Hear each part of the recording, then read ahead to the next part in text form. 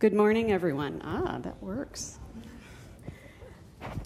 Welcome to our breakout session at the uh, Midwest High School SIG conference.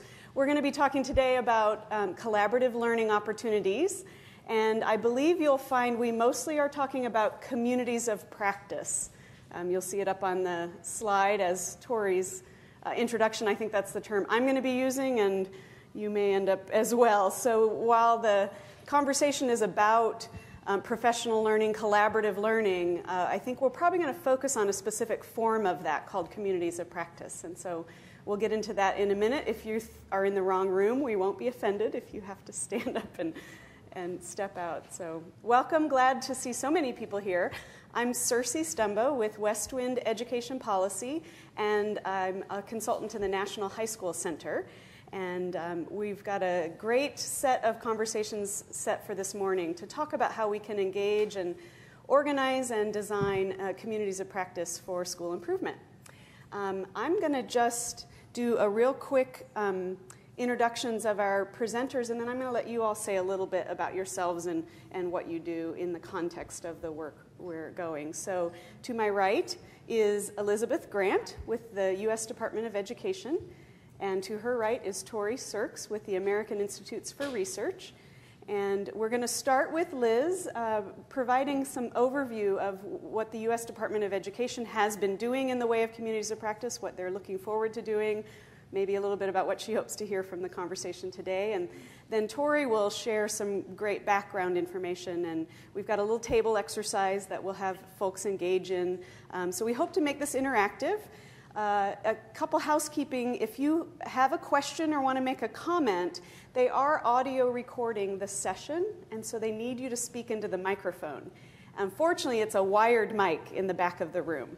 So we'll see how we can make this work. Um, if, if you can and you have a question, go ahead and walk to the back of the room. That'll be our signal that you have a question, and then you can speak right into the microphone and it will be caught by audio. If that's slowing things down, we might ask our um, room moderator to stand in the back and just repeat the question for you. So we'll see how it goes if you're okay with being a little flexible with the schedule there.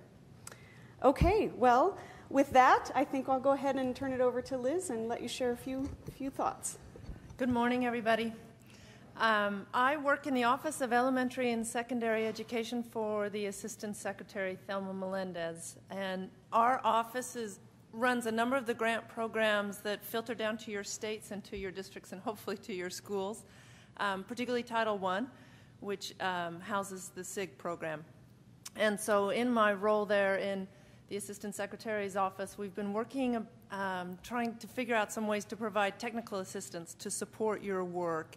And uh, we don't have a lot of funding to do this. Congress gave us a great deal of money to pass along to states and districts and uh, left none of it for us to hold and try and provide support and technical assistance. So we've been trying to cobble together some ways to make that happen to um, address the needs that we're hearing out in the field. One of them is to work with the comprehensive centers, which have been great in in trying to capture as much knowledge as they can and then producing some things like these conferences. This is the third of four conferences on SIG around the country. We have one next week focused on rural schools, which will be held in Denver. And um, so far, they've been terrific and have provided a lot of opportunities.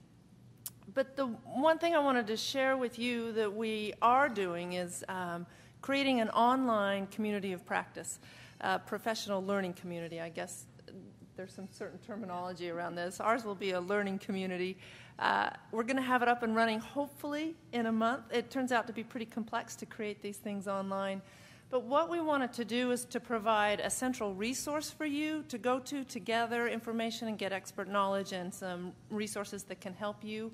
And we particularly want to facilitate networking uh, between principals, between district leaders, between state leaders, and then up and down the chain as well, from state to district to schools one of the reasons we want to do that is that um, we've learned a lot so far in the last year from the Race to the Top grantees.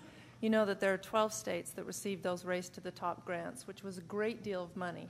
But it also came with a great deal of responsibility, and they are being asked to do things as states that have never been asked of them before, and nobody knows the right answer. They don't know how to get it done. So, what that means is the old TA model of a federal office or a state office bringing in an expert and the expert sharing their wisdom and then people going away and trying to figure out how it fits isn't working because there aren't experts that know how to do the work. They don't know how to transform a state office from one that's based on compliance to one that moves to TA support. So, what's been happening over the course of this last year is that our sophistication and understanding of what needs to happen in technical assistance has grown, and it needs to grow a great deal more, I'm sure. But uh, one of the primary lessons we've learned is that it is only through talking with each other and coming up with the answers together that we're going to find the solutions to those challenges that we face. This is the big lesson from what we've been learning on the focused work with the RTT states, it's certainly the big lesson for SIG. This work is complex, and as Carl said, Carl Harris, the Deputy Assistant Secretary, said this morning, it is hard. And I haven't yet, like you, heard the right answer on what can be done. And it's only going to come from you talking with each other and sharing your experiences.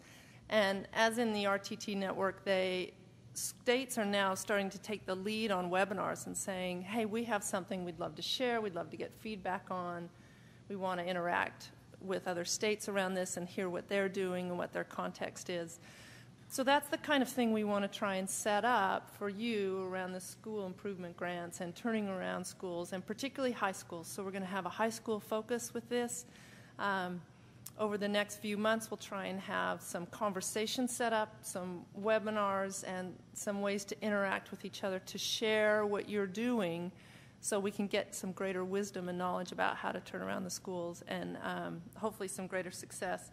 So, my role here is not to provide the expertise and information that you'll hear from the two um, sitting here next to me, Tori and Circe, but rather to listen to what your concerns are and your challenges are and uh, try and learn from that. So even if we don't have a chance in, at, as we're sitting in these seats at the moment to, to get that conversation going deeply, I would love to talk to you at any time about what you need to get the work done.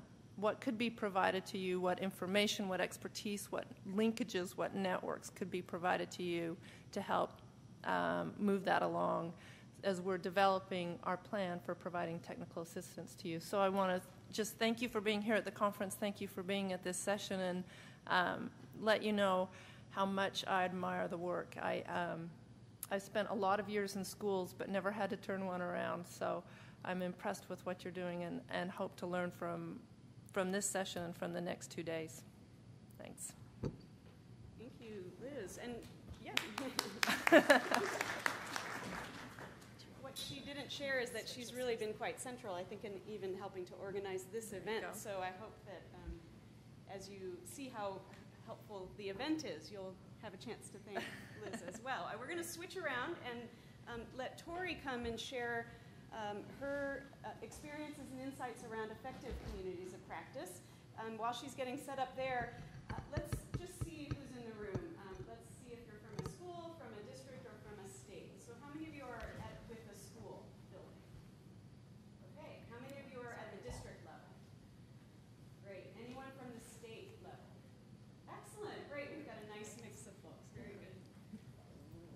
Okay, can you hear me okay?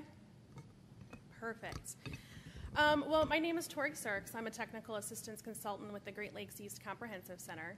And for those of you that might not be familiar with comprehensive centers, we're one of 16 regional centers funded by the U.S. Department of Ed, and we work specifically with state education agencies. And for Great Lakes East, we work with Michigan, Ohio, and Indiana. So, do I have any Michigan, Ohio, or Indiana here? All right, well, I'll try not to play favorites. Um, since I work with those states, but thank you. And what I'm going to talk about today is really about how we're using um, communities of practice and effective communities of practice um, through our technical assistance work with states and working with states to provide. Um, to help them be able to develop communities of practice to provide technical assistance to their districts and schools. So, tomorrow, um, Joanne Cashman has a session, and she's going to go really into Oh, sure. Okay, is that better? Perfect, okay. So tomorrow, Joanne Cashman is going to be doing a session more specific to the IDEA partnerships model for communities of practice, which we use with the Ohio Department of Education, and I'm going to go over a little bit of it today. But she'll be able to give you a little bit more in-depth information about that particular model if you have any, any questions, or I can kind of answer them um, here today if you have any that pop up. So what is a community of practice? How many people have been involved in a community of practice before? No. okay, what about um, any online communities that you might have joined? Um, Facebook, Twitter, any other kind of social media? Okay. Well, one thing um, when, when, talking about communities of practice that I find extremely helpful, because it does get a little confusing, is one of my colleagues found this visual, and I know you can't see it very well, but on the conference website, uh, you'll have a link to this. And what this shows, and I love it, is online communities. When you say what is an online community, it means a lot of different things to a lot of different people. Um, and in particular, what I, what I found really great on this one is you have in the upper right hand corner this northern wasteland of unread updates. So if you've ever tried to develop a community of practice or even an online forum or any kind of engagement online, how many times have you sent something and no one reads it? Um, another one that I thought was, was kind of cute is they have um, the Sea of Protocol Confusion, which is kind of down in the middle to the right. And also, when you're trying to develop an online community, people don't aren't comfortable. They don't know how to interact with each other, so they don't know what to do. So you might say, "Everyone, we want to see your um, school improvement plans. You know, let's share and, and get ideas from each other." But if people don't know what they're supposed to do with those, how to post them, what ends up happening is nobody puts anything up, and the conversation kind of dies. Um, there's the sea of zero comments which as someone who's been working with us for a couple years is a little painful. Because there are a lot of times when you're trying to um, really engage people in conversation and you think you have a great question and you think wow people are going to just jump on this. You have zero comments. And it's just a lot of work to figure out what people need um, so that this can become an interactive community. And then one of my favorites also is the charred wasteland of abandoned social networks so you might have been in a situation where you've tried something like this before and it kind of fizzled, didn't quite work out. And so you're a little hesitant maybe to try this again. And so this is just kind of a visual representation um, that I think is kind of fun. And if you're going to be working um, and developing a community practice at your school or district or state. It is something I think it's important to acknowledge that a lot of people think of online communities as a lot of different things, and they're going to come into it with either a lot of um, anxiety or just jumping on board wanting to do it and maybe even going a little too fast. So, developing a community practice is really a lot of hard work. Um, and I think a lot of times people have great ideas and they see the potential of technology and really want to use it, but don't quite stop themselves and spend the time to think through how do we really want to use it. Because the technology is the tool for the community, but it's not the community of practice. So, in terms of what a community of practice is and what I'm, how I'm going to be speaking about it today, um, Etienne Wenger is really the, the father of communities of practice. That's where the research base comes from. And he defines it as, as a group of um, people who share a concern um, or a, a, problem or a passion about a subject who, who work together, um, but they do something. Um, and I think that's one of the key pieces. And whatever this community is that you might develop, I'm going to be talking about a statewide community of practice, and I know we have district and, and school folks here, but it still applies to you. Um, and I'll try to make some of those connections as well. But it can be really big. It could be a statewide community. It could be a district-based community. It could be something that you want to. Um, I'll be talking about Ohio in a minute. This is something that will be a multi-year community of practice. Maybe you just want something a little bit more short-lived, and maybe it's a year, you know, three months. There's a lot of ways you can think about it. Um, the homogeneous or heterogeneous inside and across boundaries really speak to um, it could be within offices, across offices at the State Department. On a district level, it could be across departments. Um, even at a school level for a high school, it could be across departments, or you could even have, you know, a community of practice and the history department. So, um, and then the homogeneous heterogeneous is really about roles. So, it, teachers, administrators, parents, students, um, anyone really could be involved in it. And then in terms of how it's formed and kind of how, how structured it is, um, it could be either. It could be informal. Um, it could be something that, you know, maybe a group of teachers started it out as a lunch conversation, and it's turned into something where now they really want to have a, su- a support and build this a little bit wider across the district. And so it could really start a lot of different ways. And when you're thinking about, um, later on gonna, during our activities, thinking about developing a community of practice for SIG implementation and SIG support, that's something you might want to keep in mind too, is how, what resources might you have, um, who could you get involved, and, and, and things like that. But really, so it could be a lot of different things, which I know is kind of daunting, but it really does need three things. It has to have something, a topic, has to have people, and the people have to do something. People have to do something. So a website is really, really great. If anyone's used SharePoint, I don't know, it's a, it's a great for document collection and a document repository. It's really not great in facilitating two-way communication between the state district and school and their, and their stakeholders. So in, in that case, it might have a topic and it might have people posting, but if they're not doing anything, it's not a community of practice. So those are kind of the three things. No matter how you structure it, how you think about it, it has to have a topic, people, and it has to do something. So why use it? So there's a lot of advantages. Um, right now, technology is is kind of an exciting tool that we have to really improve engagement, communication between, and again, I'm, I'm speaking from the state context, so I apologize, between the state and with um, districts and schools. And it's a two way. And so, one of the things that community of practice can, can help with, or one of the advantages for using it, is when you have budget constraints, when you have time constraints, when you have staff um, constraints, you have, you have another tool, another mechanism to improve communication, to send information out, to really tap into external partners, associations, community members that can help you do your work. Um, by engaging all of these people, it, it, does increase the sustainability of whatever your, your initiative is. So it's not really happening in a, in a silo, it's opened, it's opened up. It creates that two way communication and feedback loop, and it really does help. Um, improve coherence of, of, implementation. So I think over the next two days, you're going to hear a lot about implementation fidelity. Um, and I think this is another tool, possibly, if you want to go that way, in terms of using communities of practice to help you implement with fidelity, help you provide communications, um, information, and tap into the field to help you make adjustments along the way if you need to.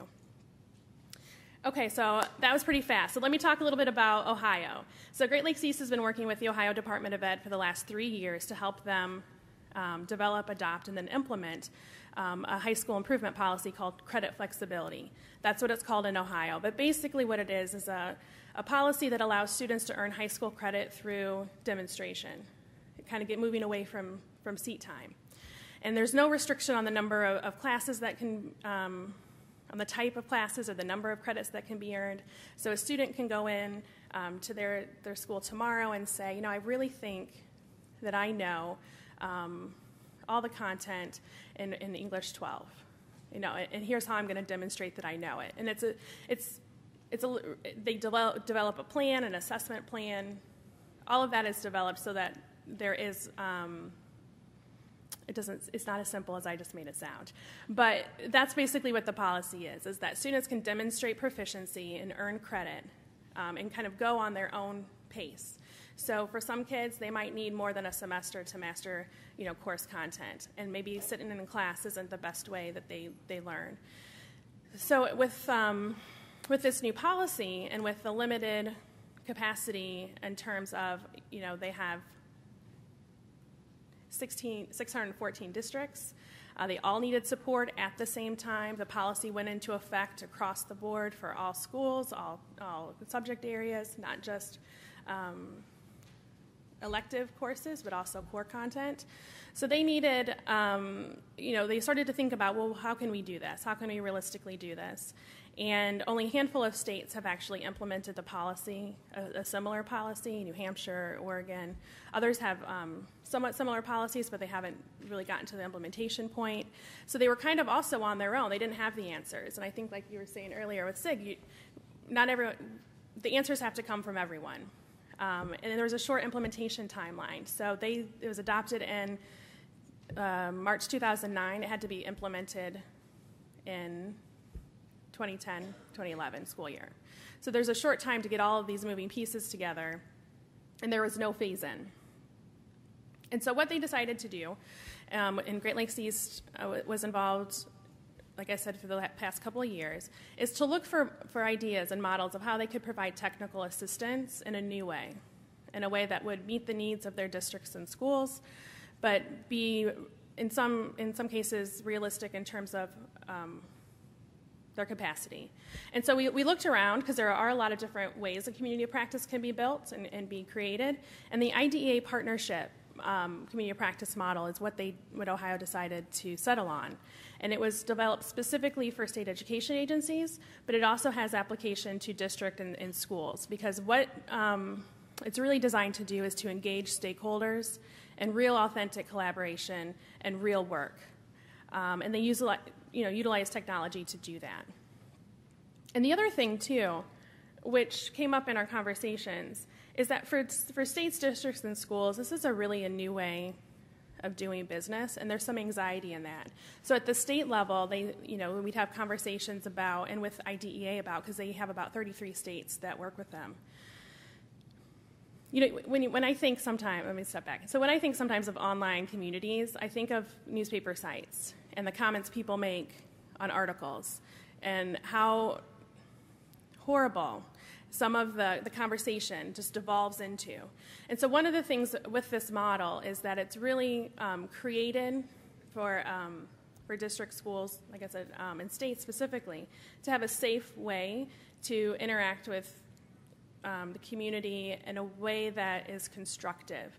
And over and over again, in the development of the community of practice and the communication methods, and we'll get into that in just a minute, um, that message has to go throughout the entire messaging of, of the community of practice. That this is different than a Facebook or a Twitter or any other kind of social media or online community that they might have joined. This is something that is, you know, to do real work and that it needs to be constructive. So on your tables, we're going to do kind of a table activity in a few minutes. There's a couple different resources. Um, one of them is just a one page handout from the IDEA partnership that describes communities of practice. The other two, there's a collaboration mapping tool and there's an action planning um, template. And really, what these can be used for and what we'll use them for is to really start thinking through how you're going to develop and use your community of practice. Because, like I think I, I said before, and I don't mean to sound like a broken record, a community of practice is something different than a website. Um, you really need to think about who's going to be involved, how are you going to use it, what kind of work you want to do, um, what maybe obstacles are there. Because what might sound like a really great idea, because you want to use like technology and it has a lot of potential and possibilities, it really needs to be also tightly facilitated.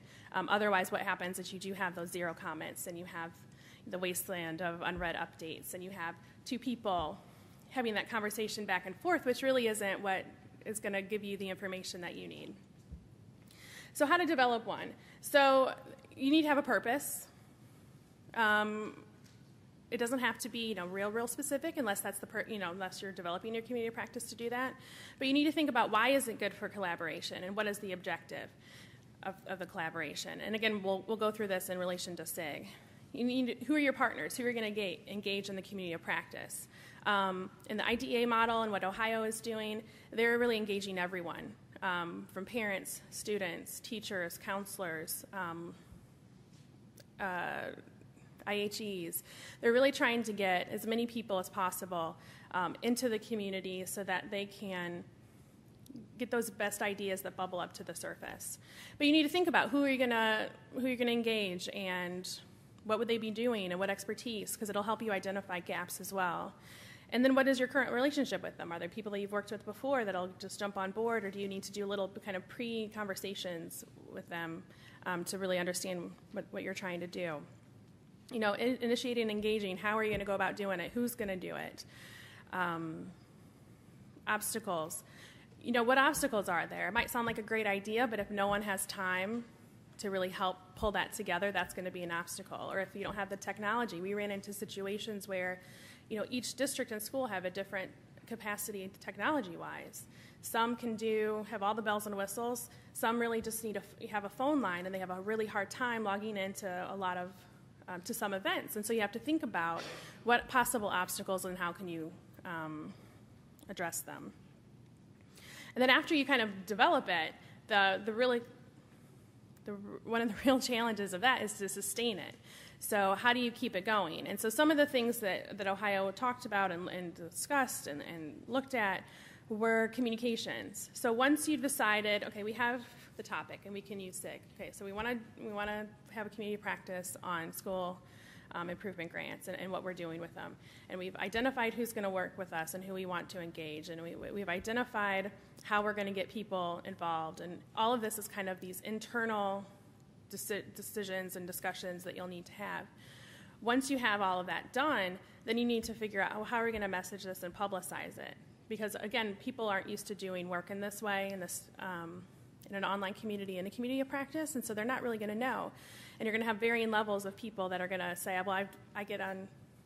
You know, the computer to check my email. Like my mom will get on once a night to check her email, but she is not comfortable yet doing other things online. And so, but then you have my dad, same age. He's he, he's great. He he knows what to do. And then you have my seven year old niece who knows more than I do about the computer and my phone, and she can teach me how to, how to use it. Um, so you're going to have a, a, bunch of different people different levels, and so you need to think about how you're going to message it so that everybody understands what you'd like to do, how you're going to launch it, how you're going to explain, here's what we'd like you to do, how we want you to use it. And then engagement, how you're going to keep people involved, um, what kind of feedback loops, how are you going to keep getting new people in, keep the people that are there engaged, um, continuing to work. And that also goes back to having real things to work on, whether it's helping identify in Ohio, it was helping identify um, what kind of guidance documents were needed and help us come up with those topics, help us come up with the specific questions that you need answered. So it needs to be work. And then you also have to have who's moderating because it can't fall onto one person and have it be sustainable.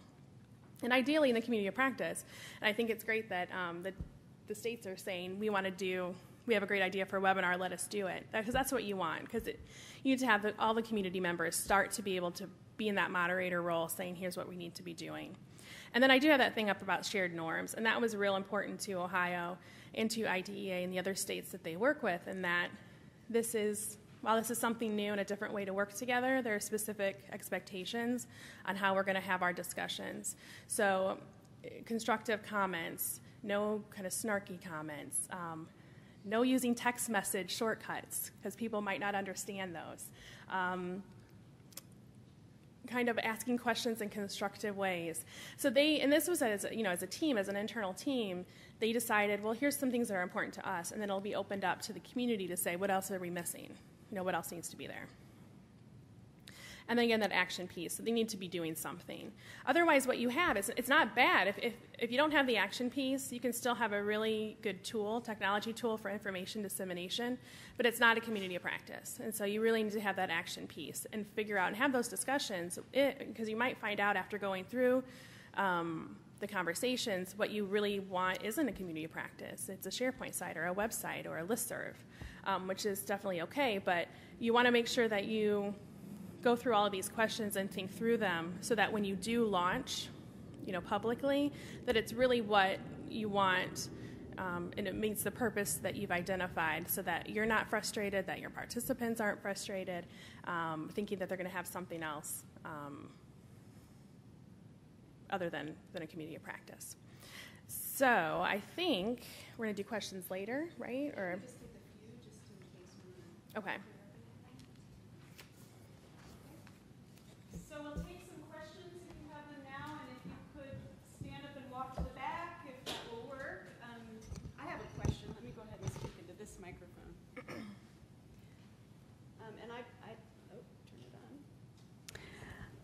So we've been engaging a community of practice, an online community of practice with state departments. And one of the things we discover, and maybe folks from the State Departments in the room might comment on this, um, it, it is intended to be multi directional and user generated and it's not a you know us delivering content it's supposed to be about conversation and the generation of knowledge and that sort of thing And so we want to have open discussions. And yet, folks in state departments have literally been trained never to say anything publicly unless it's been approved by the higher ups. So it's been a real struggle for us to figure out how to make that work. And so some of what we've done is had some password protected spaces. I'm wondering what Ohio is Ohio's fully public, anyone can get to it, or are there some private spaces as well? That's a good uh, question. They do have a public space where everyone can get to, but they also have the opportunity to have private groups. And I can pull it up real quickly. Um, and they can have as many, you know, private groups as they'd like. While you're pulling it But, up, anyone yeah. from a State Department want to comment on, does it feel like you could join in a kind of public social networking site where anyone could see your comments, or would that be really dangerous? Or districts or schools, I mean, everyone has on your own level that kind of, please. I, I would say that's dangerous, you know, from, from Michigan Department of Education, and that you get mixed messages. People will see that and say that that's what the department has, you know, set as policy, and so then you have, you know, it's, it's hard enough to keep conflicting information from what come out from different people or mm-hmm. offices within a department. But then when you put it public, then it's, you know, it's, it's, then it, you, you approved it essentially, was what some people will think. So I, I could see some real danger in that. Yeah, and that's something that Ohio and, and Great Lakes East and the IDEA partnership talked a lot about because people do, and they don't want to be seen as endorsing something. So, for, for the Ohio example and credit flexibility policy, there were a lot of issues around who pays for this. So, if I have a student that wants to take get a, a fine arts credit because they play in the orchestra in the evening, and that orchestra teacher, um, or, or the symphony or the conductor is going to oversee their learning. Like, do I pay them? How do I cover that cost? And so there, there, and that has real implications legally um, for, for the state. And so they were very, very concerned and, and careful about how they message that and how they talk about it because they don't want to be seen as endorsing things. And so one of the things that they've um, done in terms of communications is really hit on the this is you know user generated information that ODE is supporting it. They're they want to provide a space for people, um, but that they're not going to be the things that they post will be on the ODE website. So on the community of practice, there'll be links to things on the ODE website, but ODE won't necessarily use the community of practice site as the primary communication tool or where, where, that, where it'll house. So they're going to be using things like guest blogging and bloggers and um, frequently asked questions, but that is a concern. And that's one, um, one thing then in the development of their site that they decided is to be, have quite um, restrict, I don't want to say restricted, but anytime you want to post something or post a comment, it goes to a moderator to review. So then if they see that someone posted, here's what we do, here's how we um, have addressed the school finance issue. If that doesn't meet, you know, really fit the requirements set forth by the state, they can then go back to that person and have a conversation, and it doesn't get posted until it's until it's cleared up. But that is um, definitely something that is is different and, and a concern for states. If I could just follow up on that, and ha- could you go to Twitter? Um, again, we we've been experiencing this with the uh, work we've been doing with the state departments, and respect it and honor that, and have I think a bit of a responsibility to push the envelope some. Can you search for Jason Glass? So Jason Glass is the new chief state school officer in the state of Iowa, and um, there you go. He uses Twitter a lot. and I think it's safe to say that he's challenging his staff a lot as he uses Twitter. Okay, on the right, where it says people results, the second one down, Jason Glass IA. So this is, you can see what he's done so far today. So far today, we've got the whole first set of tweets. Keep going on. There you go. Now we're into still today. Now we're into yesterday. So this fellow is on Twitter all the time. And some of it is relatively benign. Why don't we? So, hats off to kids and families for standing up to irrational last hired, first fired policies. Okay, well, that's not completely um, benign. He's put his opinion out there, irrational. He's got a little link. Um, others are, um, I appreciate the leadership and courage demonstrated by NEA. Well, again, that's not um, benign. I mean, some of them are just was at North High School, go, you know, go Hawks kind of thing, which is relatively benign, but others of them are really putting out there a position. And he is really forcing the department and folks in Iowa to change the way they think about the nature of communication and and what's kind of coming out in these kind of social media sites. And I think it's valuable. It's hard and tough, and you're going to get into some. He's gotten into some tough spots, but he's also continuing to push that envelope.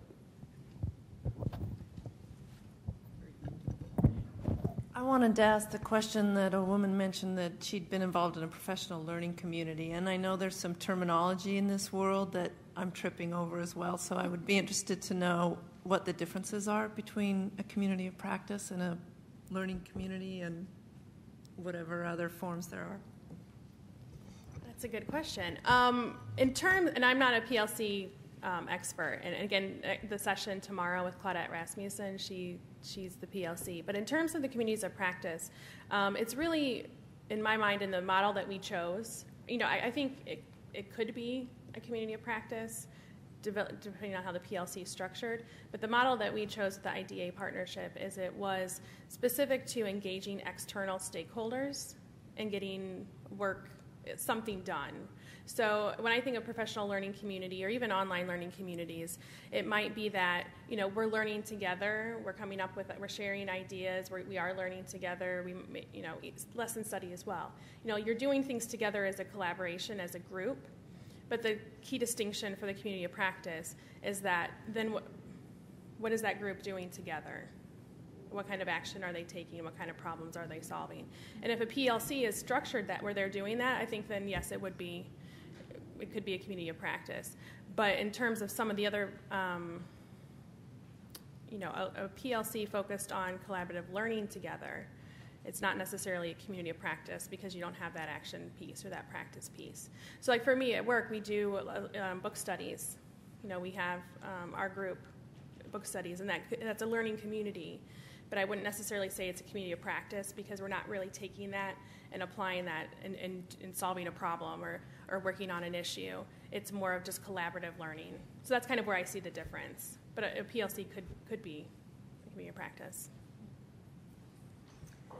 Great. Well, why don't we uh, take a, some time to do some work at your tables because we wanted to give you a chance to sort of engage in some of the, especially the cultural kinds of challenges that you might face as you try to think about new ways of organizing your work. And do we have the um, collaboration mapping tool on the tables yes. now?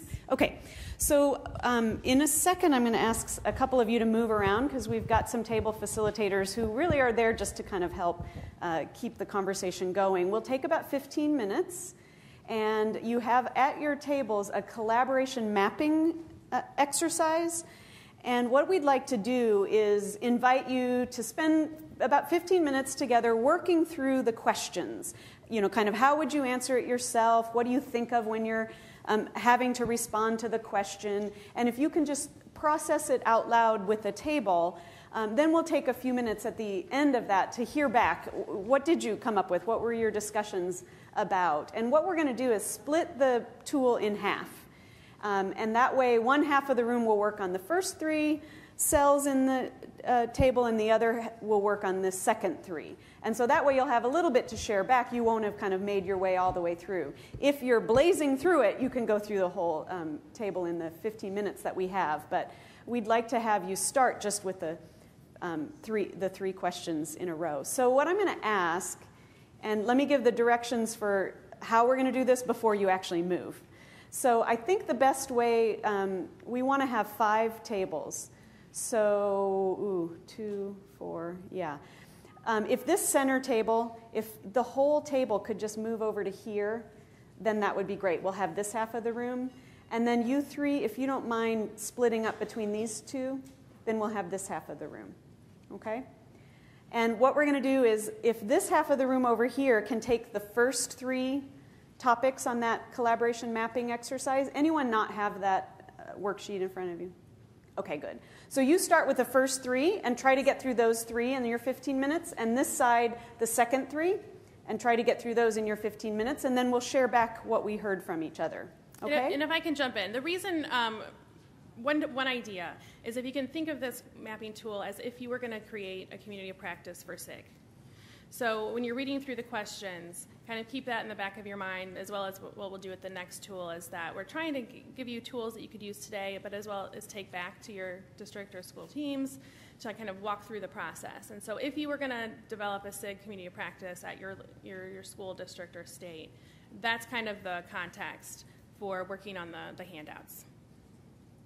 Any questions about the activity? Okay, this table can move over here, and this table can split up between those two, and we'll go sit at one of the tables without a facilitator.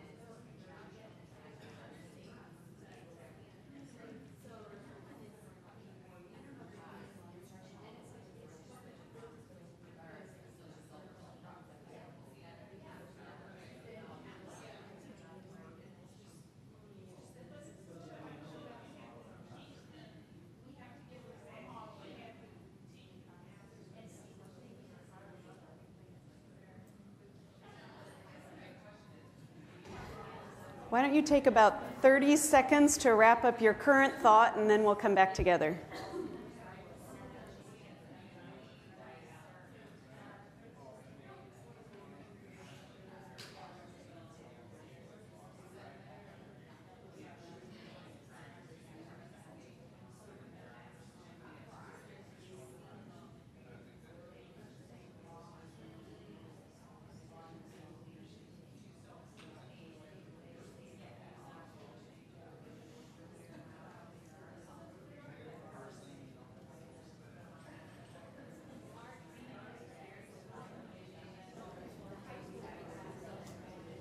Okay.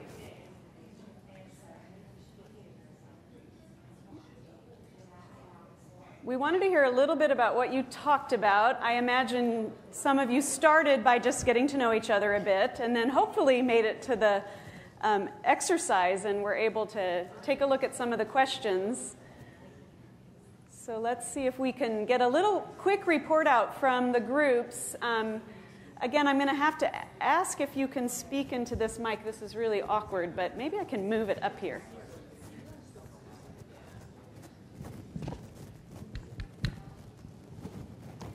Let's see if I get tripped up. Um, let's have this half of the room uh, not.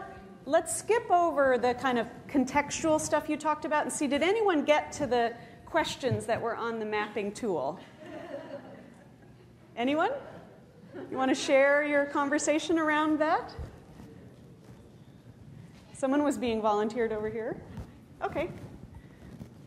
Well, if you're going to define it through the community of practice, I think um, most people would agree in the room that if you're defining it through that, uh, it's just not happening to the extent of what that is. Um, there is communication between people, but this is exciting because it can really make um, communication better in a lot of ways, I think. Uh-huh. Did anyone have examples of the kind of communication you might want to engage through a community of practice? Yeah.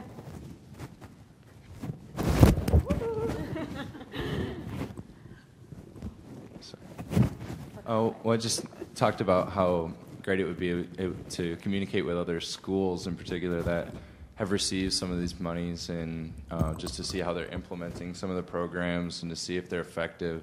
Just to have a, a medium to be able to hold these discussions because I'm finding that a lot of times I, I just have a perception of how things are working in my building, but don't really know um, how they're working in other buildings. And it would just be nice to have a, a way to communicate with other people to see how those things are working.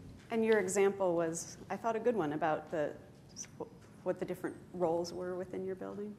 Um, yeah, we have um, some different people that have different roles, and sometimes we don't know. Or as a teacher, I don't know if they're being, you know, if the people are really doing their jobs properly. And I'd like to see how they look at different buildings to see how they, to see if those people are are doing their jobs effectively. Um, Uh, and also just to see how people are communicating with those people. I feel oftentimes teachers don't know how to access the resources that are available, and the communication piece is kind of missing. So it'd be nice to talk with different schools to see how they're, you know, kind of laying things out. So it seemed like a lot of this conversation was how a community practice might help facilitate some communication that needs to happen. Other comments on this side of the room about any of the um, prompts you were given? How about this side of the room? Did you have a chance to get to the tool at all? Any conversation about what the prompts led you to talk about?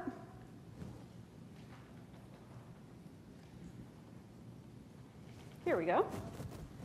So, one of the things that I noticed from the conversation here at this table was that there were examples of not only within building um, collaboration, but vertical collaboration, mm-hmm. where um, a, a, school was receiving um, support for thinking about uh, what their goals were, setting their goals, um, and and monitoring themselves along the way. So it seemed like it, it was. I mean, the shared work was not only vertical, but uh, vertical, but horizontal. Uh-huh. So. Good. I thought it, it was a great example. I think robust communities of practice provide space for multiple types of collaboration. Other comments, any general comments from the exercise? Yeah.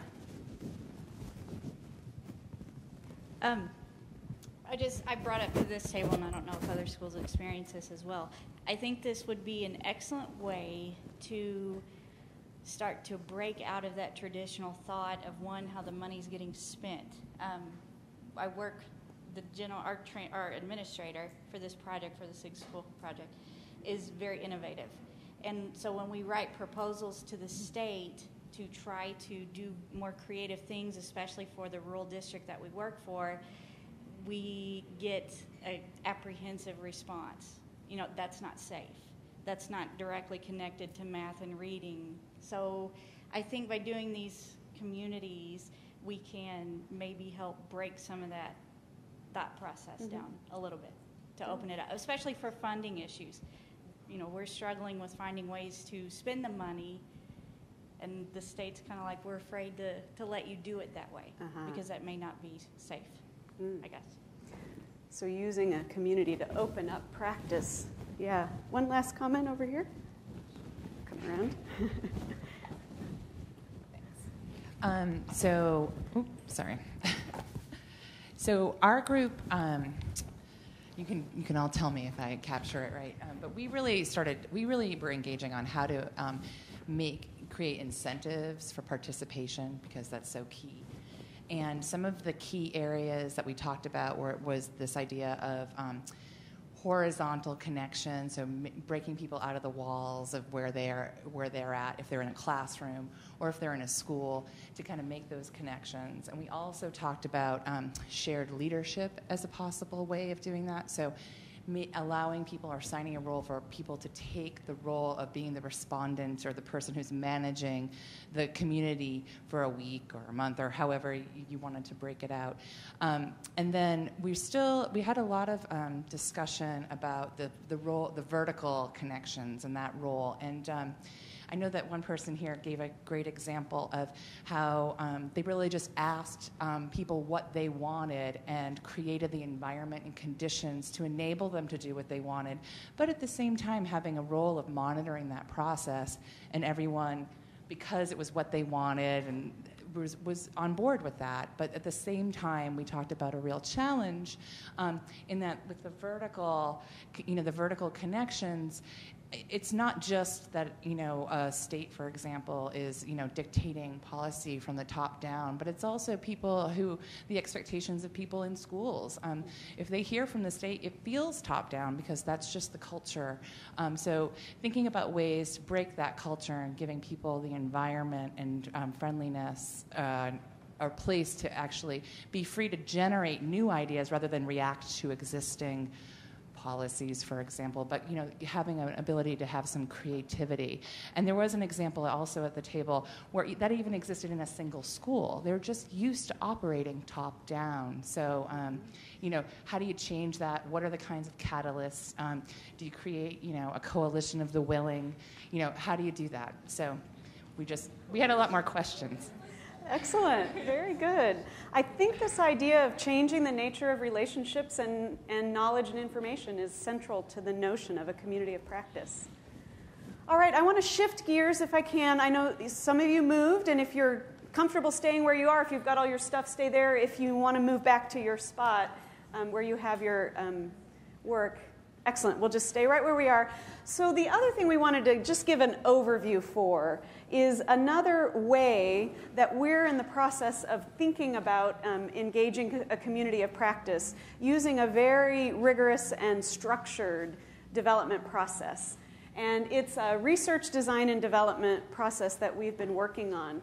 Um, so, just a quick background about our company. We're a small uh, consulting company that works primarily with state departments of education but other state education leaders, so governors, legislatures, state boards of education, statewide associations like teachers' unions and administrator associations. These are the, the universe of folks that we serve. Um, and organizations that support them, like the comprehensive centers, like the National High School Center, and that sort of thing. Anytime we engage in actual work, though, we want to make sure that we have at the table folks from every level of the system. So engaging folks at the district level is especially important to us because a state department really has to understand what's working at a district. Um, and similarly, folks at the school building level. So teachers, school level administrators, principals, assistant principals, and students are all folks that we try to engage in our work to make sure that we're understanding what it is we're um, wanting to do. And in doing that, um, we've engaged in two different types of communities of practice. The first one is probably much like what Ohio is doing and what we've been talking about, where it's really about interacting regularly around a common topic or problem or issue, and indeed interacting in a way to solve a problem. Um, and I'll give you a couple examples of how we've been doing that. The second one is what we're calling research design and development, where we really want to say, let's engage in the process of generating new knowledge and new models and strategies. And that's what I want to talk about a little bit. But just a quick background. So, the State Consortium on Educator Effectiveness is a membership, dues paying membership organization within the Council of Chief State School Officers. And uh, we kicked this off back in October, so it's still pretty young. Um, but we've got a collaboration site, and it's not a website, it's a collaboration site with the idea of getting that kind of multi um, user generated um, knowledge and information, doing webinars, we have a blog, discussions, we do have some face to face meetings. Um, and importantly, what we're about to embark on are our deep dive projects, where we'll have small groups of states that are wanting to work on projects of common concern. It's my hope and expectation that that will energize the rest, because I have to admit, it's been a struggle. We've had to really nurture engagement on this um, collaboration site. It's been, people are much more used to a website where it's a one way delivery of information rather than a common generation of information. So our expectation is, and, and we had designed it this way, that when we get into the work of the deep dives where the state folks are literally working on projects together, the, the site will be much more useful to them, um, and hopefully we'll see that happen. The website is there, and you don't have this as a handout, but it will be posted on the um, site, so you'll have all the links and that sort of thing. So that's kind of like what we've been talking about so far. Now we've got another project that we're working on with the National High School Center around their early warning systems tool. How many of you are familiar with their early warning systems tool? Okay, so this is a really powerful tool that's taken research and determined what are the indicators of, um, of a student's progress in high school toward graduation or dropping out. And so it's a tool where you can enter a lot of the key data about each of the individual students in a school, and then it will generate some early warnings to say, oh, this student's been tardy 20 times this try. Um, you no, no, notice this, this matters. The research tells us that this is an indicator the student might be on the path toward dropping out. And so, in that, with that tool, um, which is readily available on the website, and again, we've got some links to it, um, we are talking within the high school center about creating a community of practice, which is essentially a kind of user group community of practice, much like the one um, up above, where folks who are literally using this tool in their schools, in their districts, and statewide um, would come together and talk with one another about how it's working, what are they doing, you know, sharing these kinds of knowledge and experiences and that sort of thing. So that's one arena where we're kicking off a community of practice. The other one is around um, this research design and development um, notion. And we are starting in Virginia.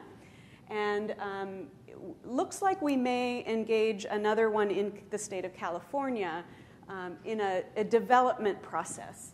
Um, we're hoping then that folks will want to sign up and sign on, and we'll, we'll be able to expand from there. So, let me tell you a little bit about it. Um, the idea of a research, design, and development community of practice is that it's a facilitated network, and facilitation is going to be critical because there's some pretty quick and, and rigorous protocols that we use focused on rapidly crafting and refining solutions to local problems. So, rapid, we have a series of 90 day cycles where we engage in rapid prototyping um, in order to come up with new solutions or to implement solutions that maybe don't have the research base that they're needed or even to take to scale solutions that have a strong research base but haven't, been, haven't gone statewide. So there's a, a number of measures along the way depending on what that solution is, but it's a solution to work on local problems of practice. Um, in addition to that, so for example, a local problem of practice might be that the students who um, transition from middle school to high school, um, we, have noticed through our warning system that in that first semester, the students are coming to class, but in the second semester, they start dropping off. And so we know we've got a spot, we've got a problem that's happening in that transition, not only from eighth grade to ninth grade, but within ninth grade from semester to semester. So there's a problem of practice, we now need to develop a solution for that. So that would be the sort of thing this group would work on. Um, and then, in addition to trying to solve that for the particular schools that are in the network, we also want to be aggregating those results and to be um, engaging and improving the kinds of policies, the kinds of systemic changes that need to take place in order to allow that solution to take hold in the local space, but also in order to create the conditions now for that solution to go to scale. So, um, just to give you a little bit of where this came from, um, West Wind and Knowledge Alliance, which is an alliance of research, education research organizations, such as the American Institutes for Research and, and organizations like that, um, we came together about two and a half, three years ago to start a process of really thinking about engaging innovation in education. Um, and through that and through uh, Knowledge Alliance's focus is in particular on knowledge generation and knowledge management, um, developed a design process that was supported by the Bill and Melinda Gates Foundation, Stupski Foundation, and the Grant Foundation.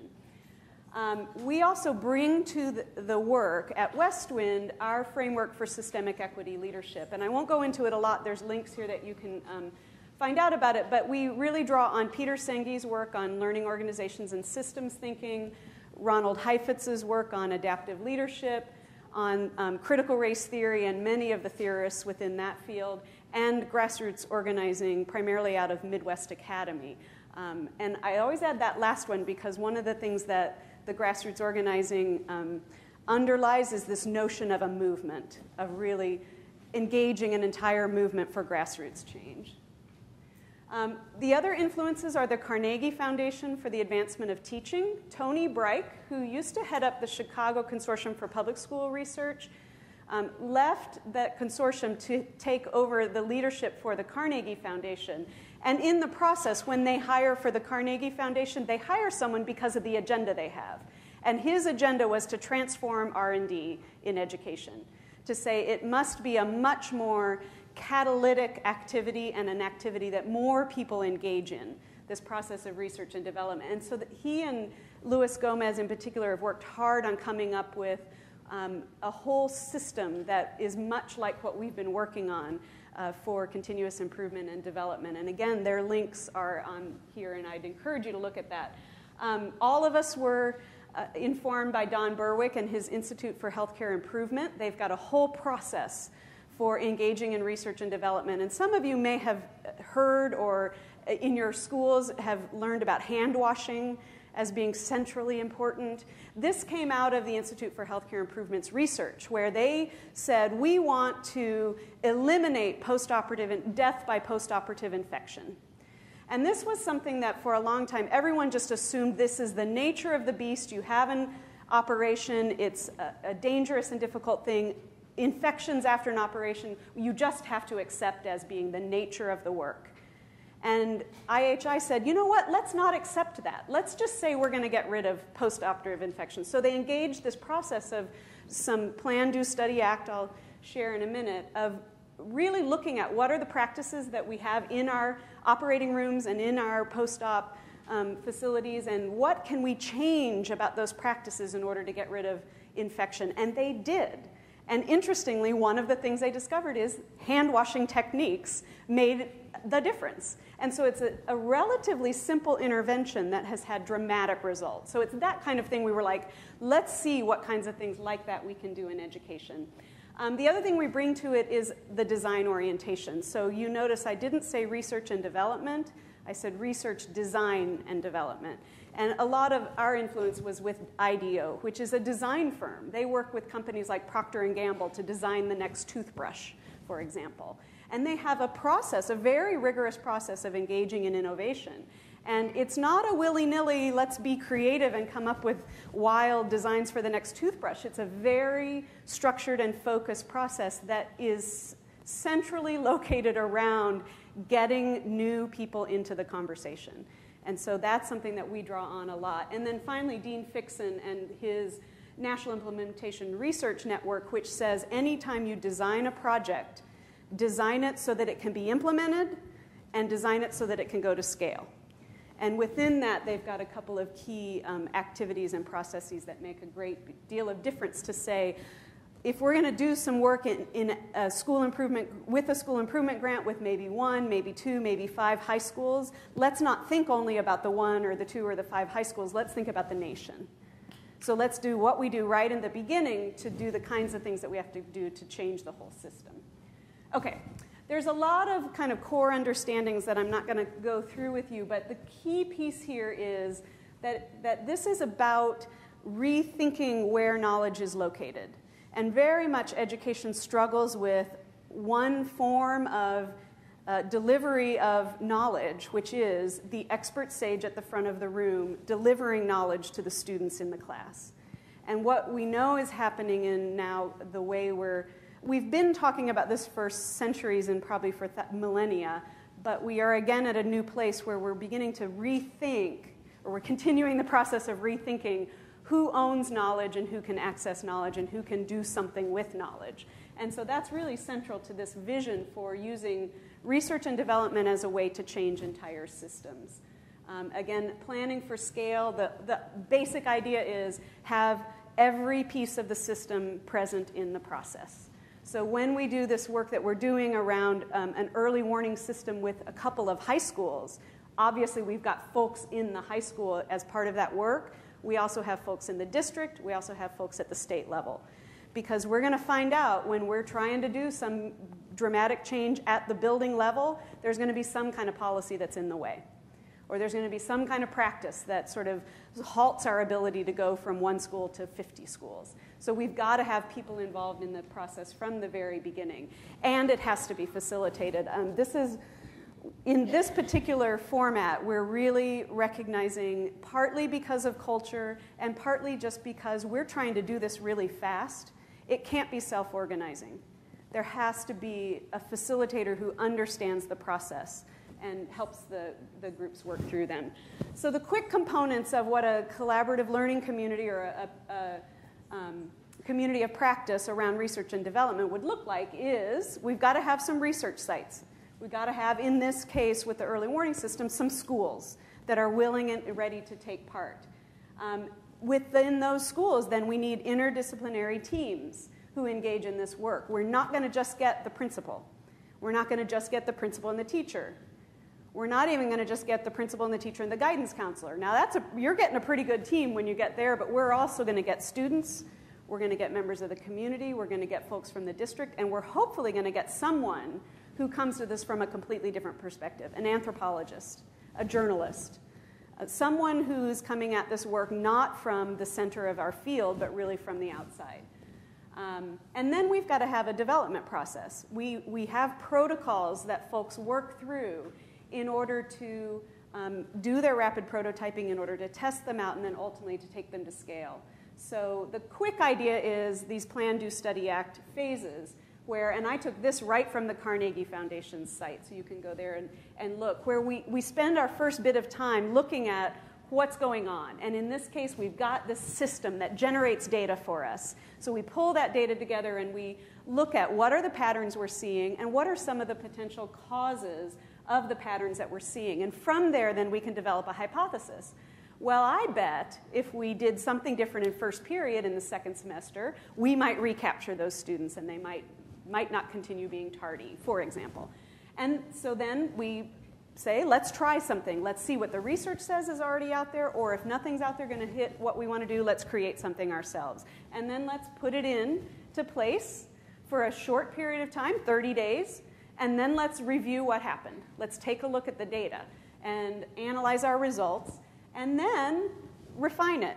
Did it work? Did it get where we are going? Did it not? What kinds of things did work? What kinds of things didn't? How can we readjust it and then go through the process again? So the idea is you do this whole process in 90 days. Now, unfortunately, that might mean in a school setting 30 days in May, 30 days in September, 30 days in October. You have to kind of go with the schedule and the calendar flow. But the key is to keep it focused and to keep it moving. Um, and then the idea of this is so we've got, in, in our case in Virginia, two high schools with their districts and their state that are coming together. They're the intensive sites. That's where we're going to do the first series of cycles until we get something that seems like this is really making a difference, at which point we can then take it to more high schools. And in the state of Virginia, they've got a, a new um, accrediting criterion that's going to matter a great deal to high schools. So we've kind of got a ready made group. You might think of school improvement grants, high schools with school improvement grants, kind of a ready made group that might be interested. Oh, those two high schools did that, I want to try that. So now they become the beta test sites. And they engage in the same process to kind of make sure that the peculiarities of the small intensive sites weren't what made it work. And then take it to large scale adoption. And here now is where we envision a community of practice much more like the one we've been talking about, where now we've gone from a small number of intensive sites to the entire state or the entire nation. We still need that ecology of information flow and sharing and collaboration as people engage in the intervention. And so, because of that, then um, what, what West Wind and Knowledge Alliance were pressing, largely before now I'm with the National High School Center, I'm pressing to say we have to have some organization that takes responsibility for this, for creating these conditions to share this information. And these are the kinds of things that an organization, um, in this case, I posit, like the National High School Center, would be doing to keep this going. And so it ends up being like this you'll have an organization like the National High School Center, like the US Department of Ed, that recognizes the patterns of problems that states are facing, and then they ask for a set of intensive sites. They go to the school improvement grant recipients and say, We're seeing this kind of problem. Would anyone like to be involved in a cycle of uh, RD&D? Get some of the work going here, find some solutions that we then take to a broader group to beta test, and then when it's all done, we've now got a network where we can take these um, activities to scale. So that's the grand idea. Um, there are a couple of conditions that we think need to be present and that we've been learning from the Carnegie Foundation. They've been doing this in the field of developmental mathematics at the community college level. So the Carnegie Foundation pulled together a group of folks at the community college level to say we've got to do something to change developmental mathematics so that students actually persist through community college to an AA degree. And they've run now a year and a half's worth of these cycles to um, get to where they're going. And these are some of the conditions that we're finding really need to, to be present. Um, this information about the Virginia Early Warning System is up on their site. Uh, the tool is up on the National High School Center's site. What we're doing is a kind of traditional TA to get them using the tool, give them technical assistance for it, and then when it comes to the place where they're saying, what are the interventions we're going to do now that we've discovered patterns, that's where we're kicking in our rapid prototyping cycles. So we've got two very different high schools in Virginia. Um, and hope we're, we're, I wanted to be farther along, but because of testing and spring breaks and things like that, we're 30 days into our 90 day cycle. So we'll have more information at the end of um, September when we gear back up and get them going. Um, and this tells just a, a quick bit about what we do in each of those 30 days. So now we are looking for high schools that might want to join either type of community of practice. Um, either a community of practice where you're just literally using the early warning system tool and want to talk with other schools and districts and states that are using the tool. So that's kind of one community of practice we're going to organize. And then another one will be as we're ready to go and beta test some of the stuff that comes out of the early Virginia work, we're looking for other schools and districts and states that would like to be involved in taking what they've been seeing and engaging that work. Or someone who wants to say, I want to get in on the ground level, I've got some innovative ideas, I want to get started. We, we can run multiple of these cycles at the same time. So you should have at your table a half sheet of paper that says, um, I'm interested in finding out more. It doesn't commit you to anything, but if you want to find out more about either of these communities of practice that we're generating around the early warning systems, um, please fill this out and turn it in so that we can let you know what's happening and what the schedules and what it might take to get involved. And then, just so you know, when you go to the website um, for the conference, I've got the links for all the different organizations that we mentioned and then our contact information. Okay, I kind of let the table discussions go a little long, so that was a quick, very fast review of um, another way of thinking about organizing a community of practice. So I think the main hope is just as you think about this as a way that you can do your work, there's lots of different things you can try to do within your communities of practice, and there's lots of knowledge and information about what does work um, in an online community, in a virtual, face to face community, and that sort of thing. So be sure to stay in touch with Tori in particular because she's got a lot of experience to be able to share with you about technically what do you got to have as your infrastructure. All right. Any questions, comments, thoughts? I know it's a whirlwind, but we're out of time. So great. Thank you very much, everyone, and uh, we hope to stay in touch.